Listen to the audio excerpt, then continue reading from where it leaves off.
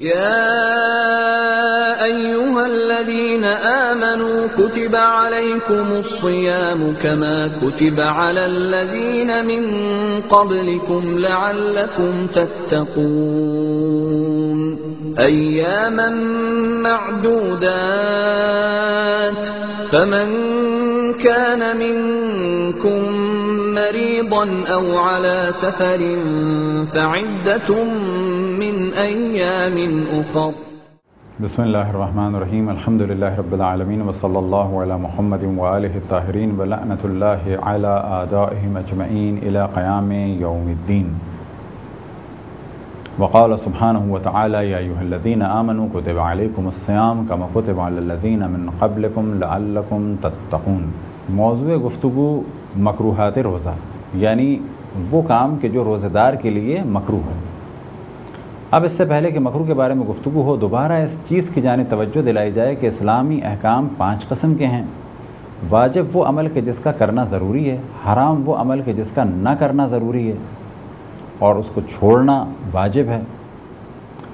मकरू वो कि ना किया जाए तो बेहतर है, लेकिन अगर कर लिया जाए तो कोई गुनाह नहीं किया। मुस्तहब वो कि अगर कर लिया जाए तो बहुत सवाब है, लेकिन अगर ना किया तो कोई गुनाह नहीं किया। मुबा वो कि करना और ना करना मसावी है। ना हराम, ना वाजिब, ना मकरू या न और ना ही मुस्तहब। मकरूहात रोज़ा के माना यह है कि वो काम कि जो रोज़ादार अगर अंजाम ना दे तो बेहतर है, लेकिन अगर अंजाम दे दे तो कोई हर्ज नहीं। ये जो एक जुमला ज़बानों पर मशहूर हो गया है कि रोज़ा मकरू हो गया, रोज़ा मकरू नहीं होता। बल्कि एक अमल हम अंजाम दे देते हैं कि जिस अमल का अंजाम देना मकरू था, यानी अगर अंजाम ना देते तो बेहतर था। रोज़े पे कोई असर नहीं पड़ा। लिहाजा फिर इस जानब तवज्जो दिलाएँ कि गलत जुमला है जो मशहूर हो गया है कि रोज़ा मकरू हो गया, रोज़ा मकरू नहीं होता, बल्कि हम एक अमल अंजाम दे देते हैं कि जो अमल अगर अंजाम ना देते तो बेहतर था। लेकिन अंजाम दे दिया तो कोई हर्ज नहीं है, गुनाह नहीं किया, रोज़े का सवाब कम हो गया, लेकिन रोज़ा बातिल नहीं हुआ। सवाब कम होने से क्या मुराद? यानी एक चीज़ का हमें सवाब मिल जाता अगर हम ये ना करते, लेकिन कर लिया तो कुछ नहीं गया। वो जो ज़्यादा सवाब मिलने वाला था ना करने की वजह से वो नहीं मिला, गया कुछ नहीं। एक आम तस्वुर है कि आँख में दवा नहीं डाली जा सकती रोज़े में। ये तस्वुर बिल्कुल गलत है। लिहाजा बाज़ लोग ऑपरेशन नहीं कराते आँखों का माह रमज़ान में या उससे पहले। और कुछ लोग ऑपरेशन करवा लें तो दवा इस्तेमाल नहीं करते क्योंकि उनके जहन में यह है कि इससे रोज़ा बातिल हो जाता है। अब यहाँ पर इस बात को बिल्कुल वाज कर दें कि दवा आँख में डालना बिल्कुल जायज़ है। आँख में दवा डालना जब मकरू है, जब इसका जायका हलक तक पहुँचे। लेकिन अगर जायका हलक तक नहीं पहुँच रहा तो मकरू भी नहीं है। लेकिन मुमकिन है कि आप पर दवा डालना वाजिब हो। यानी ये हो सकता है कि हम तो इसे मकरू कह रहे हैं, लेकिन वो वाजिब हो। बिल्कुल हो सकता है। फ़र्ज़ करें कि आपने ऑपरेशन कराया है और आपको डॉक्टर ने ये कहा है कि हर दो घंटे के बाद दवा डालनी है, वरना आँख को ख़तरा है। तो आपके लिए अब दवा डालना मकरू नहीं है, बल्कि आपके ऊपर दवा डालना वाजिब है। हमारे यहाँ बाज़ दफ़ा लोग क्या करते हैं कि दवा डालने के लिए रोज़ा छोड़ देते हैं। ये काम हराम किया। फ़र्ज़ करें कि आपको आँख के ऑपरेशन के बाद फ़कत दवा डालने के लिए डॉक्टर ने कहा था, हर दो घंटे बाद, और आपने क्या किया? रोज़ा छोड़ दिया। महज इस वजह से कि आँखों में दवा डालनी है हाँ अगर आपकी आँख का कोई ऐसा ऑपरेशन हुआ है कि डॉक्टर ने हर चार घंटे बाद या हर पाँच घंटे बाद एक दवा बताई है खाने की, और अगर आप नहीं खाएँगे तो आँख ज़ाया हो जाएगी। इस सूरत में कहा जाएगा, क्योंकि दवा नहीं खाएँगे, आँख ज़ाया हो जाएगी, लिहाजा रोज़ा रखना वाजिब नहीं है। लेकिन यहाँ पर यह नहीं था मौजू कि दवा खानी है, बल्कि क्या था कि दवा डालनी आँख में।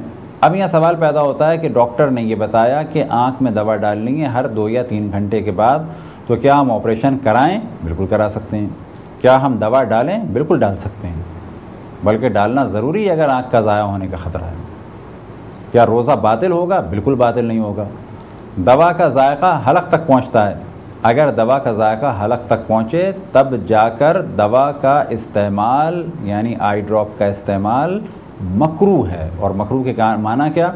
कि अगर ना करते तो बेहतर है, लेकिन कर लिया तो कोई हर्ज नहीं। और फिर हम अर्ज़ करें कि अगर डॉक्टर ने कहा है कि तीन या चार घंटे बाद डालना है, या पाँच घंटे बाद डालना है, और अगर आँखों में आपके ये दवा न रही तो आँखों को नुकसान होगा तो फिर ये आप पर मकरू नहीं है, बल्कि लाजिम है। तो पहली चीज़ कि जो मकरू है आई ड्रॉप डालना खसूस कब कि जब इसका जायका हलक तक आता हो, लेकिन कब कि जब ये वाजिब ना हो गई हो। वाजिब कब हो जाएगी कि जब आपकी आँख को ख़तरा है और इस लिक्विड का आँख में होना ज़रूरी है, हर चार या पाँच घंटे के बाद तो इस सूरत में लाजिम हो जाएगा ये। फिर तवज्जो दिलाएँ कि रोज़ा मकरू नहीं होता है, बल्कि एक अमल मकरू है। और फिर इस बात को वाजे करें कि मकरू के माना है कि अगर कर लिया तो कोई बुराई नहीं, ना करते तो बेहतर है। दूसरी चीज़ जो रोज़े के, रोज़ेदार के लिए मकरू है, वो है कोई भी ऐसा काम करना कि जिससे कमज़ोरी हो।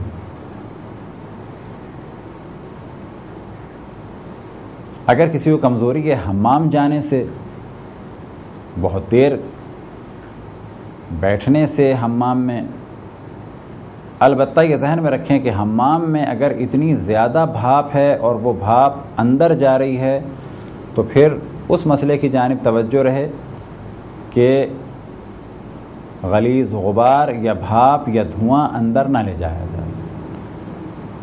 लेकिन अगर मामूली सी भाप है, मामूली सी गर्मी है, सोना में तो कोई हर्ज नहीं। तो जिस चीज़ से भी कमज़ोरी हो, वो काम मकरू है, यानी ना किया जाए तो बेहतर है। वो काम जो कमज़ोरी का सबब बनते हैं, उन्हीं में से एक काम है खून निकलवाना। अब यहाँ पे सवाल किया जाए, जो हमारे बहुत ज़्यादा मशहूर हो गया है, क्या खून टेस्ट कराया जा सकता है रोज़े में? बिल्कुल कराया जा सकता है। क्या खून डोनेट किया जा सकता है किसी को? बिल्कुल किया जा सकता है। अब मुमकिन है आप कहें कि खून देना या टेस्ट करवाना या दांत निकलवाते वक्त खून के निकलने से अगर कमज़ोरी होती है तो यह अमल मकरू है। तो हम जवाब देंगे, बिल्कुल मकरू है। कब के जब कमज़ोरी होती है। और फिर हम आपकी तवज्जो दिलाएँगे कि मकरू के माना है कि ना करें तो बेहतर है, कर लें तो कोई हर्ज नहीं। अब यहाँ पर मुख्तलिफ़ मिसालें देते हैं, फ़र्ज़ करें कि हमें खून देना है। और मुझे ये मालूम है, खून देने के बाद थोड़े से चक्कर आएँगे, कमज़ोरी होगी। तो क्या रोज़ा बातिल हो जाएगा? रोज़ा बिल्कुल बातिल नहीं होगा। ये अमल मकरू है, कब? कि जब हमें कमज़ोरी होती हो। अब एक और मिसाल जहन में रख लें। कि अगर हमने खून दिया तो मुझे मालूम है कि मैं मर जाऊँगा। इस सूरत में तो हराम है। फ़र्ज़ करें कि दो महीने में तीन, चार दफ़ा खून दे दिया और मुझे मालूम है कि मैं मर जाऊँगा। तो ये तो हराम काम है। मैं सेहतमंद आदमी हूँ और आज खून दे रहा हूँ उतने फासले से जितना डॉक्टरों ने कहा है। ब्लड प्रेशर मेरा नॉर्मल है। फ़कत मुझे एक कमज़ोरी सी होगी खून देने के बाद तो क्या मेरा रोज़ा बातिल होगा? रोज़ा बातिल नहीं होगा? ये अमल मकरू है, यानी ना करें तो बेहतर। किसी शख्स को अपना टेस्ट कराना है, खून देना है लेबॉर्ट्री में। और वो ये जानता है कि ये थोड़ा सा खून एक सरिंज में निकलने से मुझे कमज़ोरी नहीं होती। तो क्या टेस्ट करा ले? बिल्कुल करा ले। इसका रोज़ा बातिल भी नहीं होगा और ये अमल इसके लिए मकरू भी नहीं है, क्योंकि मकरू जब होगा कि जब इसे कमज़ोरी हो। अगर कोई शख्स अपना दांत निकलवाना चाहे और वो जानता है कि दांत निकलेगा, थोड़ा सा खून निकलेगा। या ये कि रूट केनालिंग का काम है, बहुत मामूली सा खून निकल रहा है। या ये कि रूट केनालिंग में भी दूसरा या तीसरा विज़िट है, अब खून भी नहीं निकलेगा। फ़कत फिलिंग होगी। तो क्या करवा लें? बिल्कुल करवा लें। दांतों की स्कैनिंग करानी है, पॉलिश करवानी है। और दूसरी, तीसरी सेटिंग है जिसमें फ़र्ज़ करें खून नहीं निकल रहा। बिल्कुल सही है। खून अगर निकल रहा है तो कैसा? अगर खून निकल के मुँह में आता है और आप उसको निगल लेते हैं तो ये काम हराम है, लेकिन मुँह में खून आया, आपने उसे थूक दिया तो कोई हर्ज नहीं है। आया रोज़ा बातिल होगा, दांत निकलवाने से जब खून निकले, रोज़ा बिल्कुल बातिल नहीं होगा। मकरू है ये काम, बिल्कुल ये काम मकरू है। कब? कि जब कमज़ोरी हो। अब अगर किसी को कमज़ोरी नहीं हो रही तो ये मकरू भी नहीं है। कमज़ोरी हो रही है तो मकरू है। मकरू के क्या माना? ना करते काम तो बेहतर था, लेकिन कर लिया तो कोई हर्ज नहीं। तीसरी चीज़ जो मकरू है, वो है किसी खुश चीज़ से एनिमा लेना कि इसका पहले भी ज़िक्र हो चुका, फ़र्ज़ करें कोई वेसलिन या कोई ख़ास किस्म की चीज़ है जो जेल की सूरत में लिक्विड नहीं है। अब अगर ये काम कोई रोज़े के बाद करे तो बहुत अच्छा है। रोज़े के दौरान करे तो कहा जाएगा, ना करते तो बेहतर है। लेकिन अगर ये एनिमा लिक्विड से होगा तो इससे रोज़ा बातिल हो जाएगा। इस पर पहले भी गुफ्तु हो चुकी है। अनफिया या नास या नस्वार नस्वार को सूंघना। अगर उसका गुबार हलक तक ले जा रहे हैं तो रोज़ा बातिल है।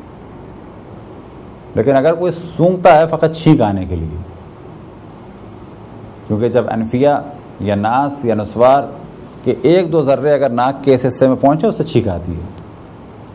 ये काम रोज़े को बातिल करता है, बिल्कुल बातिल नहीं करता। क्या ये काम मकरू है? बिल्कुल मकरू है। और फिर मकरू की जानब तवज्जो रहे। ये जो बार बार हम मकरू की जानब तवज्जो दिला रहे हैं, वजह क्या है कि हमारे माशरे में बाज़ दफ़ा मकरू काम को हराम समझा जाता है। चौथी मकरू चीज़ है खुशबूदार पौधों का सूंघना। जैसे कि संदल या खस या कोई खुशबूदार फूल। सूंघने से मुराद इस तरीके से सूंघना। लेकिन अगर किसी ने संदल या चमेली का कमरे में स्प्रे कर दिया, रूम स्प्रे कर दिया, रिफ्रेशनर से मअतर कर दिया कमरे को, कोई हर्ज नहीं। कोई अगरबत्ती जल रही है चमेली की, कोई हर्ज नहीं। कोई संदल की अगरबत्ती है, कोई हर्ज नहीं। कोई बुखोर किया जा रहा है, यानी जला के खुशबू की जा रही है, लोबान की या किसी और चीज़ की कोई हर्ज नहीं है। मखसूस इन बूटियों को सूंघना, ये मकरू है। मकरू क्या माना? ना करते तो बेहतर है, कर लिया तो कोई हर्ज नहीं है। अब इस चीज़ से कुछ लोग कयास करते हैं कि रोज़ेदार खुशबू ना लगाए। ये बिल्कुल गलत बात है। रोज़ेदार खुशबू लगा सकता है। रोज़ेदार के लिए खुशबू लगाना मुस्तहब है। हर नमाजी के लिए खुशबू लगाना मुस्तहब है। निजासात के मौजू में हमने डिस्कशन किया अल्कोहल के बारे में और उसे दोबारा डिस्कस करें कि ये एक बहुत ज़बरदस्ती का शोर हो गया है कि अल्कोहलिक परफ्यूम नजस हैं। अल्कोहलिक परफ्यूम नजस नहीं है, क्योंकि अल्कोहल दो किस्म की है।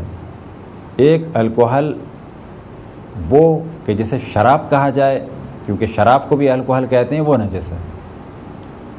और एक है इंडस्ट्रियल अल्कोहल यानी इथाइल और मिथाइल के जो पॉलिश में, कलर में और परफ्यूम में इस्तेमाल होती है, वो बिल्कुल पाक है। अलबत् बाज़ मराजे ने एहतियात लगाई है कि अगर इंडस्ट्रियल अल्कोहल किसी नशा आवर लिक्विड से निकाली जाए तो उससे एहतियात की जाए। लेकिन उमूमन मराजे ये फरमाते हैं कि अल्कोहल सनती, यानी इंडस्ट्रियल अल्कोहल पाक है। लिहाजा अल्कोहल सनती जिन परफ्यूम में है, यानी इंडस्ट्रियल अल्कोहल जिन परफ्यूम्स में है, और अल्कोहलिक परफ्यूम उन्हें कहा जाता है, क्योंकि कोई वाइन या बियर परफ्यूम में नहीं डाली जाती। परफ्यूम में हमेशा इंडस्ट्रियल अल्कोहल डाली जाती है। अब अगर कोई शख्स अपने इत्र में कोई शराब डाल दे, यानी वाइन या बियर डाल दे, वो कतन नजस है। लेकिन हम बात कर रहे हैं एक नॉर्मल खुशबू की कि जो दुनिया भर में मिलती हैं अल्कोहलिक परफ्यूम इन सब में खुशबू के साथ साथ एक चीज़ होती है, वो है इंडस्ट्रियल अल्कोहल और ये पाक है, इसकी तमाम अकसाम पाक हैं, और इसका इस्तेमाल जायज़ है। और अगर इसमें खुशबू है तो इसका इस्तेमाल मुस्तहब है, क्योंकि इसे खुशबू कहा जाएगा, और जब तक खुशबू कहा जाएगा, इस्तेमाल इसका बेहतर है। अब यहाँ पर सवाल और जवाब की सूरत में इस चीज़ को बयान करते हैं, आया रोज़ेदार, खुशबूदार साबुन इस्तेमाल कर सकता है, बिल्कुल कर सकता है। हाजी के लिए खुशबू इस्तेमाल हरा, खुशबू का इस्तेमाल हराम है, वो अलग मौजू है, रोज़ेदार के लिए खुशबू का इस्तेमाल हराम नहीं है। परफ्यूम इस्तेमाल कर सकता है अल्कोहलिक बिल्कुल कर सकता है। डीऑड्रेंट इस्तेमाल कर सकता है, यूनिट टॉयलेट इस्तेमाल कर सकता है, कोई आम इथर इस्तेमाल कर सकता है, बिल्कुल कर सकता है, चाहे वो अल्कोहलिक हो, चाहे वो नॉन अल्कोहलिक हो। चाहे वो किसी पौधे से लिया गया हो, चाहे वो बिल्कुल आर्टिफिशियल कस्म का वो इस्तेमाल कर सकता है। मकरू फ़कत जड़ी बूटियों को या पौधों को सूंघना है। इसके अलावा किसी कस्म की खुशबू मकरू नहीं है। मकरूहत में से पाँचवा मकरू जो रोज़ेदार के लिए मकरू है, वो मखसूस ख़वातीन के लिए है, वो ये कि पानी में बैठना। मर्द अगर पानी में बैठें तो मकरू नहीं, लेकिन ख़वातीन का पानी में बैठना मकरू है। पानी में बैठने से क्या मुराद? शावर के नीचे बैठे नहीं। किसी टब में या किसी तशले में या स्विमिंग पूल में अगर ख़वातीन बैठती हैं तो ये मकरू है और मकरू के माना फिर बयान करें कि ना करें तो बेहतर है, कर लें तो कोई हर्ज नहीं है। बस कोई लड़की अगर स्विमिंग पूल में बैठती है, अब मुमकिन है कोई कहे जी स्विमिंग पूल में तो मर्द होते हैं। वो एक बिल्कुल अलग मौजू अगर स्विमिंग पूल में मर्द हैं तो ये इसके लिए हराम है। फ़र्ज़ करें किसी घर में स्विमिंग पूल है, सिर्फ़ खातन है, कोई नहीं देख रहा, कोई कैमरा नहीं है, कोई नाम हरम नहीं है। बैठ सकती हैं खातन स्विमिंग पूल में? बिल्कुल बैठ सकती हैं। मकरू है? हाँ मकरू है। क्या माना मकरू के? ना बैठें तो बेहतर है। टब में खातन बैठ सकती हैं? बिल्कुल बैठ सकती हैं। मकरू है? बिल्कुल मकरू है। क्या माना? टब में ना बैठें तो बेहतर है, लेकिन अगर बैठ गई तो कोई हर्ज नहीं। छठी चीज़ जो रोज़ेदार के लिए मकरू है, वो ये कि जो लिबास पहना है, उसको गीला करना। यानी अगर गर्मी बहुत ज़्यादा है, कोई अपने लिबास को गीला कर ले तो ये काम इसके लिए मकरू है। यानी ना करे तो बेहतर है, लेकिन कर ले तो कोई हर्ज नहीं। सातवीं चीज़ जो रोज़ेदार के लिए मकरू है और उसका ज़िक्र पहले भी हो चुका खून के मौजू में, लेकिन वो कमज़ोरी के उनवान से था।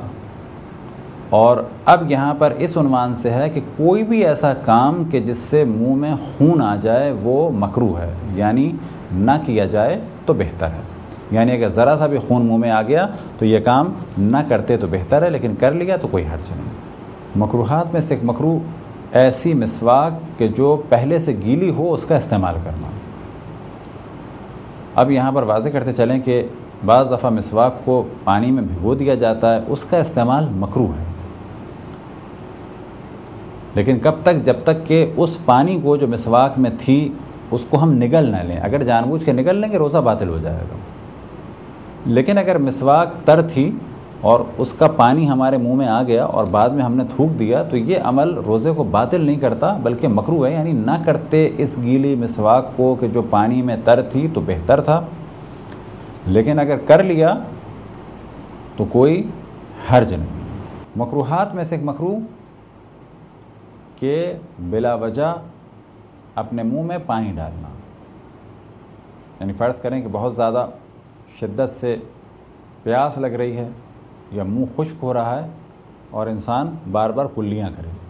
अब अगर वो पानी हलक में जा रहा है तो रोज़ा बातिल हो जाएगा। लेकिन अगर फ़कत कुल्ली की और कुल्ली करने के बाद थूक दिया, अलबत्त बेहतर यह है कि तीन दफ़ा इंसान थूक दे ताकि जो भी पानी है वो निकल जाए। लेकिन इस जानब तवज्जो रहे, कुल्ली करना बग़ैर किसी वजह के रोज़ेदार के लिए मकरू है। लेकिन बग़ैर किसी वजह से क्या मुराद? यानी ना वो वज़ू कर रहा है वाजिब, ना वज़ू कर रहा है मुस्तहब, ना उसके मुँह में खून आया, फ़कत ठंडा करने के लिए कुल्ली कर रहा है मुँह को। अब अगर ये काम इसने अंजाम दिया तो मकरू है, लेकिन अगर ये पानी हलक में चला गया, या इसकी नीयत ही यही थी कि पानी हलक में चला जाए और इस बहाने कुछ पानी में पी लूँ तो क़तन इसका रोज़ा बातिल है। ये थे कुछ मकरूहत। खुदावन तबारक वाली से दुआ है कि बेहक़ महमद वाल महमद हमें अपनी, अपने रसूल, अपनी हजतों खसूस इमाम ज़मान सलाम की मार्फत और इतात की तोफ़ी अता फ़रमाए वसल्ला महमद व ताहरीन